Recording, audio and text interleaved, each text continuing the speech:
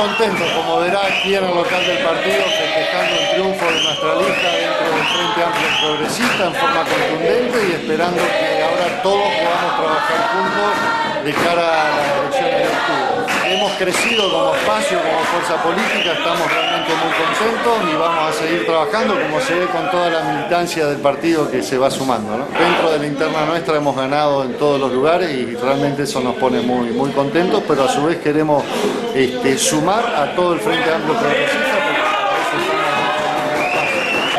que somos parte del Frente Amplio Progresista de cada octubre. Agradecerles a todos por haber participado de una elección tan democrática como la que hemos tenido hoy y particularmente a los que apoyaron a todo el Frente Amplio Progresista y más aún a los que apoyaron nuestra lista. Pero temas menores que hacen a cualquier acto electoral, fue una elección ejemplar, muy tranquila y muy positiva.